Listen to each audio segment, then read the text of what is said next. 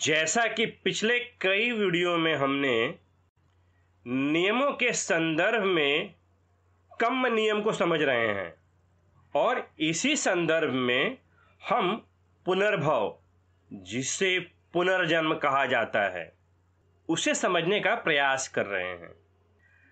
हालाँकि कई बार इस पुनर्भव या पुनर्जन्म को हम किसी विशेष अस्तित्व के सहारे समझना चाहते हैं। जो शायद समझने में ज़्यादा सरल रहता है। यही कारण है कि अमर आत्मा का विश्लेषण बड़ी आसानी से इस पुनर्जन्म की व्याख्या में बैठ जाता है। मगर इस प्रकार का चिंतन तथागत बुद्ध द्वारा बताए गए पुनर्भव या पुनर्जन्म को भ्रमित कर देता है। तो सबसे पहले पुनर्भव या पुनर्जन्म इसको समझने के लिए बुद्ध द्वारा स्वीकार गए सिद्धांतों के सहारे ही इसे समझना होगा। जब बुद्ध प्रतीत्य समुत्पाद के नियम के कारण अनित्यता के सिद्धांत को अपनाते हैं कि इस जगत में कोई भी वस्तु या विषय नित्य नहीं है। सब कुछ परिवर्तनशील है। मगर जब आत्मा की बात होती है तब वहाँ पर अमर आत्मा को स्वीकार किया जाता है। और यहीं पर बुद्ध संदेशों और अमर आत्मा में विरोधाभास उत्पन्न होने लगता है। यहाँ पर हमें समझना होगा कि बुद्ध इस जगत की परिवर्तनशीलता के सहारे पुनर्भव या पुनर्जन्म को समझाते हैं। या आज के आधुनिक युग के संदर्भ में कहें तो पुनर्भव या पुनर्जन्म कोई जड़ वस्तु नहीं है, या इसमें कोई नित्य भाव नहीं है, या आत्मा नहीं है, जो कि अपने मूल मैं के अस्तित्व को सदैव लिए बार बार पुनर्जन्म लेती है। इसे सामान्यतः इस जगत में तरंगों के उदाहरण से समझ सकते हैं कि ये परिवर्तन की लगातार श्रृंखला है। इसमें कोई शाश्वत या अमर तत्व नहीं है, जो सदैव अपने समान रूप में सभी जगह उपस्थित हो। बस ये परिवर्तन समय के सापेक्ष में सभी प्रकार के विषयों की विशेष अवस्था उत्पन्न करते हैं, जो समय के साथ पूरी अवस्थाओं के परिवर्तन के साथ बदलती रहती है। जिसे संघातवाद भी कहा जाता है, कि किसी विशेष समय में सभी विषयों या वस्तुओं की विशेष अवस्था। और यहाँ पर जिस समय जो हो, उस समय उसी के अर्थ में उसे समझना चाहिए। ऐसा नहीं है कि किसी अलग समय में उत्पन्न अवस्था को कोई दूसरे समय में उत्पन्न अवस्था से समझेंगे तो भ्रम उत्पन्न होगा।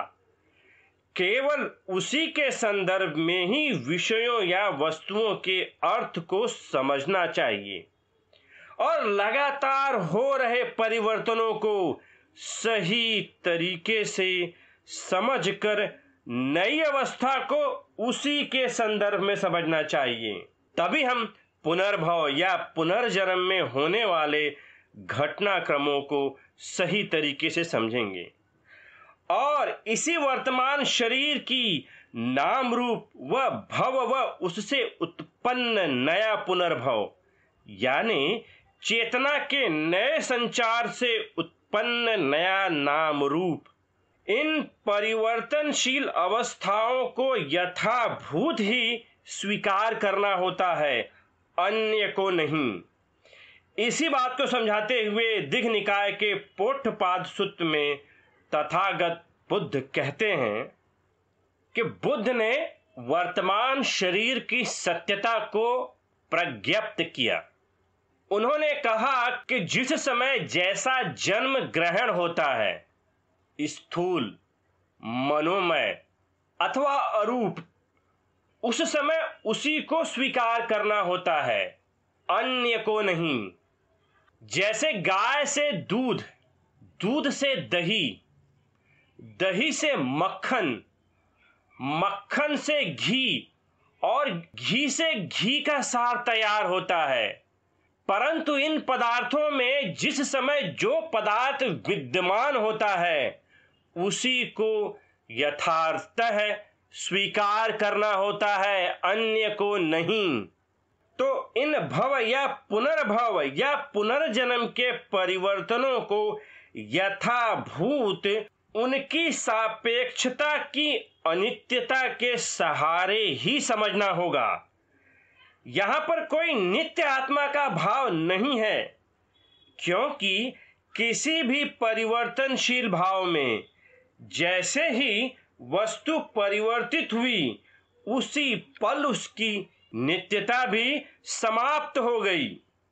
तो कैसे इस नित्यता को स्वीकार करें? अब उदाहरण के तौर पर क्या पुनर्जन्म के पहले का व्यक्ति और पुनर्जन्म के बाद का व्यक्ति एक होता है? क्या दोनों का रूप एक जैसा होता है? हमें कोई अमरता पुनर्जन्म के दो जन्मों में नहीं दिखाई देती है। या यहाँ पर जड़ता या अमरता नहीं होती है। यह केवल परिवर्तन होता है एक का दूसरे में। एक जन्म का उत्पन्न यानी इस संसार से जुड़ने की इच्छा, दूसरे जन्म के उत्पन्न यानी विज्ञान का कारण बनती है। नए गर्भ का भव, यानी जब तक किसी स्त्री के गर्भ में इस संसार से जुड़ने का भाव नहीं होगा। तब तक उसमें चेतना उत्पन्न नहीं होगी। या इस संसार से जुड़ने का भाव ही किसी के जन्म का कारण बनता है। और यह भव मृत्यु को प्राप्त हो रहे व्यक्ति के भव के कारण संचरित होता है। यानी एक व्यक्ति द्वारा उत्पन्न इस संसार से जुड़ने का भाव या आसक्ति, या भव, पुनर्भव के सहारे, गर्भ में इस संसार से जुड़ने के भाव को उत्पन्न कर, यानी भव के ज़रिए चेतना का संचार कर देता है। और इसी नए भाव का उत्पन्न न होना, या इस जीवन के संसारिक विषयों के कारण उत्पन्न। इससे जुड़ने की इच्छा या इस आसक्ति को समाप्त कर देना ही निर्वाण है। तो इसी कार्य कारणों की श्रृंखला को समझाते हुए बुद्ध संयुक्त निकाय के कोटि गाम वज्ञ में कहते हैं कि बुद्ध ने भिक्षुओं से कहा कि चार आर्य सत्यों के अज्ञान अप्रतिवेद के कारण दीर्घ काल से मेरा और तुम्हारा इस संसार में संधावन, संसरण चल रहा है। इन्हीं के अनुबोध प्रतिवेद से भव तृष्णा का उच्छेद हो जाता है। भव रज्जु कट जाती है और नया भव प्राप्त नहीं होता। तो नए भव का कट जाना या समाप्त हो जाना ही निर्वाण है। और फिर इसी संदर्भ में आयुष्मान नारद संयुक्त निकाय के निदान संयुक्त के महावज्ञों के खंड में इसे स्वीकार करते हुए कहते हैं कि भव का निरोध निर्वाण होता है। यानी जब किसी भी व्यक्ति में इस संसार से जुड़ने का भाव या आसक्ति या इन संसारिक विषयों के प्रति इसे भोगने का भाव समाप्त हो जाता है। तब उसके अंदर उत्पन्न दुख, बेचैनी, छटपटाहट समाप्त होने लगती है और ये अनुभव प्रत्यक्ष हमारे जीवन में घटित होते हुए दिखाई देते हैं। और जब ये आसक्ति या इस संसार से जुड़ने का भाव पूरी तरह से समाप्त हो जाता है, तभी हमें पूर्ण दुख मुक्त की अवस्था प्राप्त होती है, जिसके कारण हम वर्तमान जीवन के दुखों सहित भविष्य के पुनर्भव द्वारा उत्पन्न जीवन से भी छुटकारा पा लेते हैं, और जो लोग इस भव को खंडित नहीं कर पाते।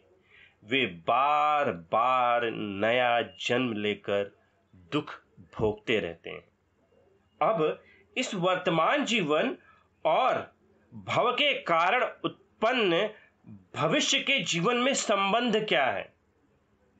क्योंकि जब बुद्ध आत्मा का खंडन करते हैं और मैं के अस्तित्व को भी उसे उसी जीवन से जुड़ा मानते हैं तो दो जीवन के व्यक्ति भी अलग हो जाए तो इन दोनों का संबंध क्या?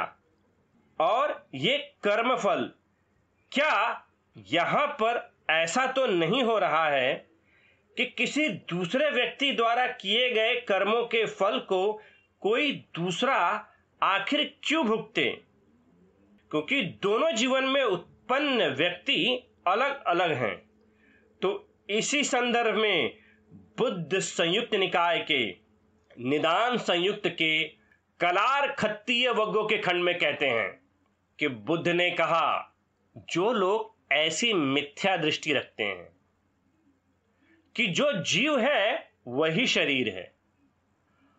अथवा जीव दूसरा और शरीर दूसरा, उनका ब्रह्मचर्यवास फलीफूत नहीं हो सकता। अतः इस प्रकार के प्रश्न अनर्गल हैं। जरा मरण क्या है? और किसको होता है? मैं दोनों अंतों को छोड़ मध्य से धर्मोपदेश देता हूँ। जन्म के हेतु जरा मरण होता है। भव के हेतु जन्म, उपादान के हेतु भव, तृष्णा के हेतु से उपादान। और इसी प्रकार यह श्रृंखला आगे बढ़ते हुए अविद्या के हेतु से संस्कार, अविद्या के पूर्णतः निरुद्ध हो जाने से लोगों की मिथ्या दृष्टि प्रणष्ट हो जाती है। तो यहाँ पर बुद्ध मध्य में रहने का उपदेश देते हैं। पुनर्भव के कारण वर्तमान व भविष्य, इन दोनों जीवन को ऐसा भी नहीं मानना चाहिए कि दोनों एक हैं। जैसा कि आत्मा के चिंतन में किया जाता है। और फिर आगे, इसी खंड में बुद्ध कहते हैं कि बुद्ध ने भिक्षुओं को समझाया कि यह काया न तो तुम्हारी अपनी है और न किसी दूसरे की। इसे पूर्व में किए गए कर्मों के कारण अभिसंस्कृत और चेतना तथा वेदना से संयुक्त जानना चाहिए। तो यहाँ पर ये अलग होकर भी एक दूसरे से प्रभावित हैं। या इन्हें पूरी तरह से भी अलग नहीं माना जा सकता है, क्योंकि एक के कारण ही दूसरा उत्पन्न है। और इस परिवर्तन या भव या पुनर्भव के संचरण में बने हुए कर्म संस्कारों का प्रभाव बना रहता है। यानी मध्यम मार्ग। इसी के सहारे इस पुनर्भव या पुनर्जन्म को समझना होगा कि ये दोनों जन्म अलग हैं, मगर इसे उच्छेदवाद भी नहीं कहा जा सकता, या इन्हें पूर्ण तरीके से अलग भी नहीं कहा जा सकता, क्योंकि एक जीवन से दूसरा जीवन उत्पन्न होता है। और इसमें कर्म संस्कारों के प्रभाव बने रहते हैं। पुनर्भव या पुनर्जन्म के इस प्रकार के घटनाक्रमों को बड़ी स्पष्टता से मिलिंद पन्नो नामक बौद्ध धर्म ग्रंथ में भिक्षु नागसेन व महान राजा मिनेंडर या मिलिंद के संवाद में भी देखा जाता है, जहाँ पर इसी घटनाक्रम को भिक्षु नागसेन कई उदाहरणों के माध्यम से स्पष्ट करते हैं। मिलिंद पन्नो ग्रंथ के तीसरे परिच्छेद के खंड में, भंते नागसेन राजा मिलिंद के बीच इसी पुनर्जन्म के विषय में संवाद होता है, कि राजा बोला, भंते, ऐसा कोई जीव है जो शरीर से निकलकर दूसरे में प्रवेश करता है। नहीं महाराज, भंते नागसेन ने कहा। फिर राजा ने पूछा, भंते यदि इस शरीर से निकलकर दूसरे शरीर में जाने वाला कोई नहीं है, तब तो वह अपने पाप कर्मों से मुक्त हो गया। फिर भिक्षु नागसेन ने कहा, हाँ महाराज, यदि उसका फिर भी जन्म नहीं हो तो अलबत्ता वह अपने पाप कर्मों से मुक्त हो गया। यदि फिर भी वह जन्म ग्रहण करे तो वह मुक्त नहीं हुआ। कृपया उपमा देकर समझाएँ, राजा ने कहा। फिर भिक्षु नागसेन ने पूछा कि महाराज, यदि कोई आदमी किसी दूसरे का आम चुरा ले तो दंड का भागी होगा या नहीं? हाँ, भंते, होगा। राजा ने कहा। फिर भंते नागसेन ने पूछा, महाराज, उस आम को तो उसने रोपा ही नहीं था। जिसे इसने लिया, फिर दंड का भागी कैसे होगा? फिर राजा ने कहा, भंते, उसके रोपे हुए आम से ही यह पैदा हुआ, इसलिए वह दंड का भागी होगा। फिर भिक्षु नागसेन ने उत्तर दिया, महाराज, इसी तरह एक पुरुष इस नाम रूप से अच्छे बुरे कर्मों को करता है। उन कर्मों के प्रभाव से दूसरा नाम रूप जन्म लेता है। इसीलिए वह अपने पाप कर्मों से मुक्त नहीं हुआ। फिर राजा ने उत्तर दिया, भंते आपने ठीक समझाया। तो हम यहाँ पर देखते हैं कि जैसे कोई एक चोर किसी आम के पेड़ से आम चुरा ले और वहाँ पर उसके मालिक को यदि ये कहे कि आपने जिस आम को बोया था, वह आम तो दूसरा है, और जिस आम को मैंने यहाँ से तोड़ा है, वह आम तो दूसरा है। तो यहाँ पर हम देखते हैं कि भले ये दोनों आम अलग अलग हों, मगर यह आम उसी से उत्पन्न हुआ है। यानी अगर उस पेड़ से आम को चुराया जाएगा, तब पर भी वह चोर इसका अपराधी रहेगा। और उस आम को लगाने वाला ही उसका मालिक बना रहेगा। तो इस प्रकार से दो अलग अलग आम होते हुए भी वे एक दूसरे से जुड़े हैं। और इसी संदर्भ में मिलिंद पन्नों के दूसरे परिच्छेद में इन्हीं विषयों की फिर से चर्चा की गई है। राजा बोला, भंते, कौन जन्म ग्रहण करता है? स्थवीर, यानी भिक्षु नागसेन बोले, महाराज, नाम और रूप जन्म ग्रहण करता है। यहाँ नाम रूप का अर्थ है मन युक्त भौतिक शरीर। फिर महाराज मिलिंद पूछते हैं कि क्या यही नाम और रूप जन्म ग्रहण करता है? फिर भिक्षु नागसेन जवाब देते हैं, महाराज, यही नाम और रूप जन्म नहीं ग्रहण करता। मनुष्य इस नाम और रूप से पाप या पुण्य करता है। उस कर्म को करने से दूसरा नाम और रूप जन्म ग्रहण करता है। फिर राजा बोले, भंते, तब तो पहला नाम और रूप अपने कर्मों से मुक्त हो गया। फिर स्थवीर यानी भिक्षु नागसेन ने कहा, महाराज, यदि फिर भी जन्म नहीं ग्रहण करे तो मुक्त हो गया। किंतु चूँकि वह फिर भी जन्म ग्रहण करता है, इसलिए मुक्त नहीं हुआ। फिर राजा ने कहा, कृपया उपमा देकर समझावें। भिक्षु नागसेन ने उत्तर दिया, महाराज, कोई आदमी जाड़े में आग जलाकर तापे और उसे बिना बुझाए छोड़ चला जाए। वह आग किसी दूसरे आदमी के खेत को जला दे। तब उसे पकड़ खेत का मालिक राजा के पास ले जाए। राजन, इसने मेरे खेत को जला दिया है। इस पर वह ऐसा कहे कि मैंने इसके खेत को नहीं जलाया है, देव। वह दूसरी ही आग थी जो मैंने जलाई थी। और वह दूसरी है जिससे इसका खेत जल गया। मुझे सजा नहीं मिलनी चाहिए। अब महाराज आप ही बतावें उसे सजा मिलनी चाहिए या नहीं?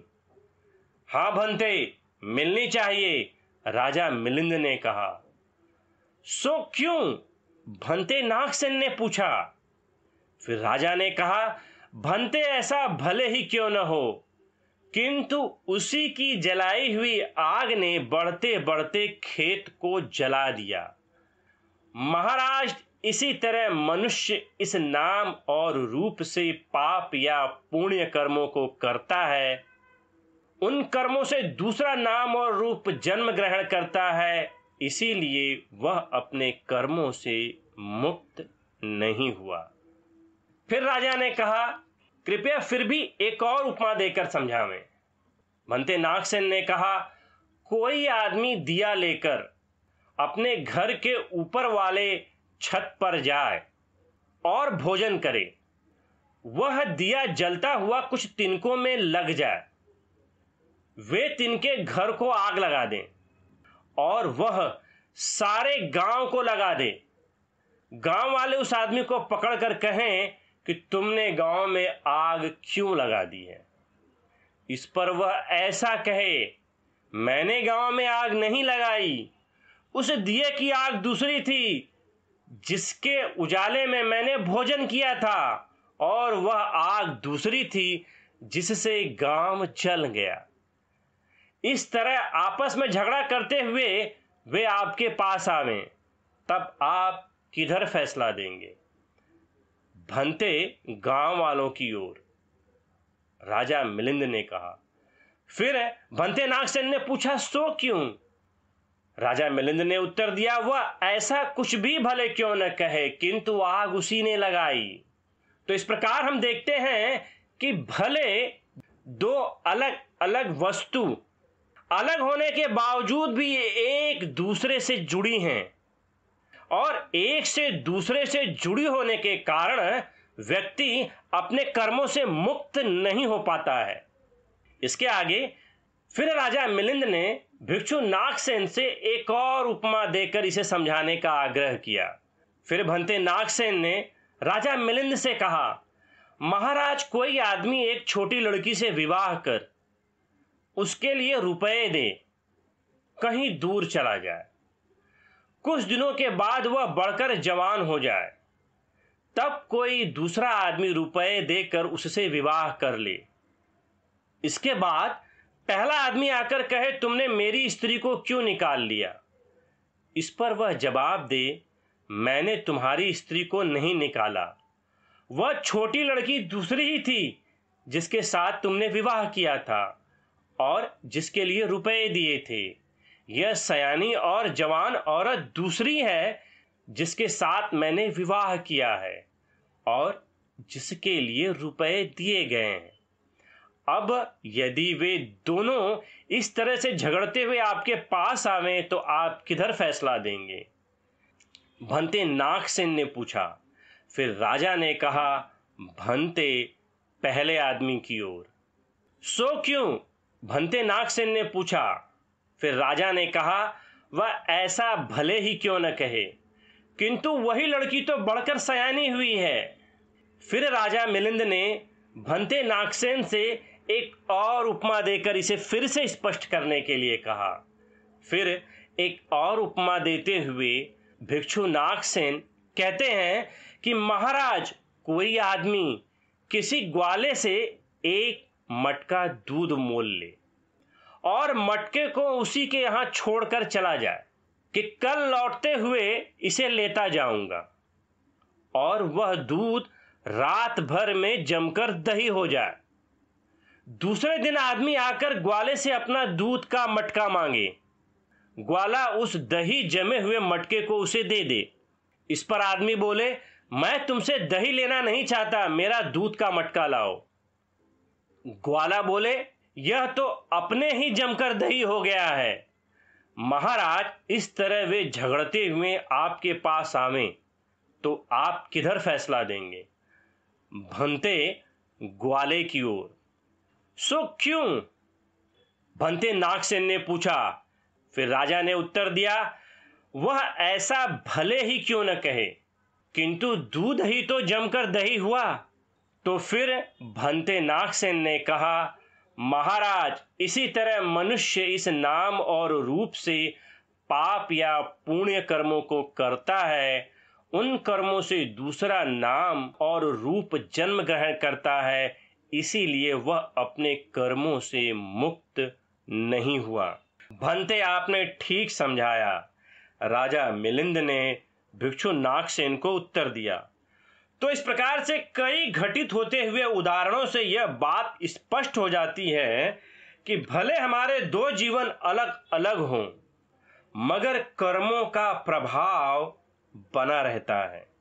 तो यहाँ पर इस प्रकार के दुखों के जन्म मरण के चक्र से छुटकारा पाने के लिए हमें निष्कर्ष के रूप में दो विषयों का अनुकरण करना होगा।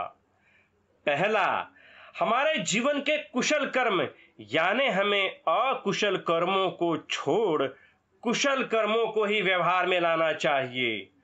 और दूसरा, जीवन से भव को रिक्त कर देना, कि जो हम इस जीवन के आपाधापी में लगे हुए हैं, हमारे अंदर जो तृष्णाएँ हमें जकड़ कर रखी हुई हैं, हमारा जीवन व्यतीत हो जाने के बाद भी हम इनसे मुक्त नहीं हो पाते हैं।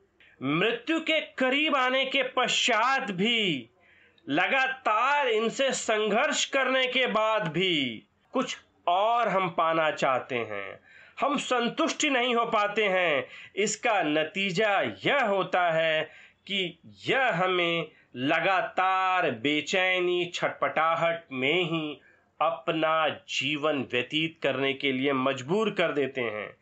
जबकि हर किसी को पता है कि मृत्यु एक निश्चित घटनाक्रम है, मगर वह इसे स्वीकार नहीं करता। कम से कम मृत्यु के पहले तो वह अपनी छटपटाहट, तड़प वह बेचैनी से छुटकारा पा ले, और इस संसार से मोह, आसक्ति के कारण, यानी भव समाप्त हो जाए। तो बुद्ध किस प्रकार से भव को समाप्त करने के लिए कुशल कर्मों का अनुकरण कर, इसे कम नियम के सहारे समझाते हुए, मध्यम मार्ग का उपदेश देते हुए और कर्म के प्रभावों को समझने का प्रयास जारी रखेंगे। धन्यवाद।